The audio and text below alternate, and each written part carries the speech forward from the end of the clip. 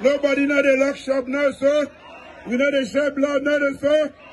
We are a peaceful party and therefore we look up to a very peaceful election. The one day where they plan for bring boss boss when we don't begin arrest already, we will continue for arrest them, for make sure say we get peaceful election. One country, one people. Already don't begin grab them. The one there where they bring peace to, the one there where they plan, the one there where they recruit, then what do they call uh, ex-servicemen.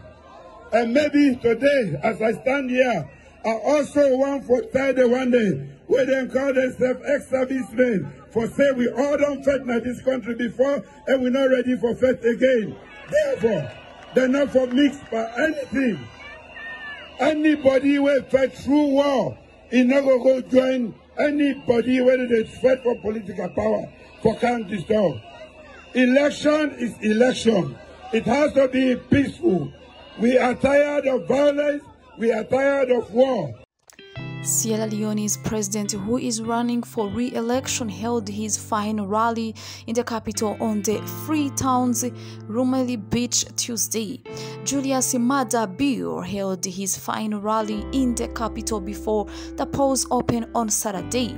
Voters will also elect MPs and local councils. Julius Maada Bio is one of the 13 candidates vying for the top office. The Sierra Leone People's Party nominee called for a peaceful election at, the end of tense campaign. I want to appeal to everybody. We want peaceful elections, no violence. You have your card. On that day, go and vote. He told his supporters from a stage of Freetown's Lumley Beach. Traditional parade-like political street rallies have been banned this year to avoid potential violence. Macksood Gibril Sesay, former electoral commissioner, expressed concern that there wasn't a process of healing after deadly riots in August last year.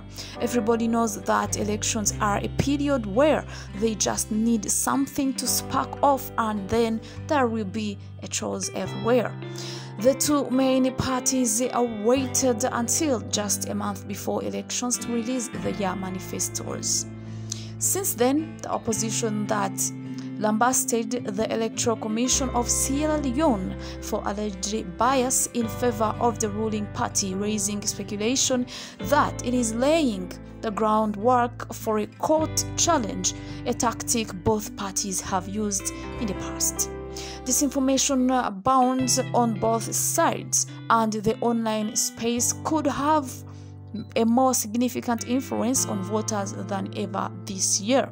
Information Minister Mohamed Rahman Swaray told AFP that internet penetration had risen to nearly 3 million from 370,000 people in 2018. At the helm of the ruling Sierra Leone People's Party, a former coup leader who spent three months as head of state in the 1990s championed education and women's rights during his first mandate. In an interview, he said he would prioritize agriculture and reducing food imports next. Kamara 72, a former finance and foreign minister who lost to Bio in uh, 2018, ran off told AFP he would restore confidence in the country's economic institutions and bring in foreign direct investment. He is currently on trial for embezzling public funds while he was foreign minister in a case his supporters believe is politically motivated. However, while he has campaigned on economic issues, observers believe the dire fight situation is likely to translate directly into a loss for Bio. Thank you so much for watching.